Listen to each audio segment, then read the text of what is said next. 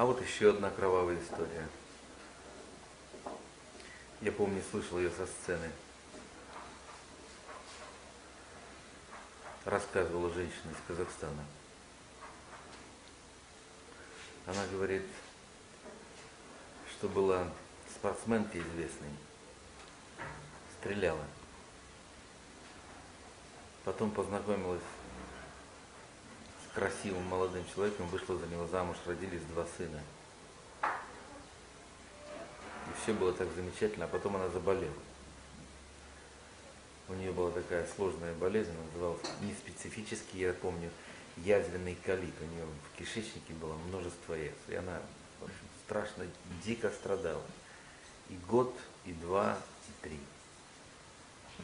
И ничего не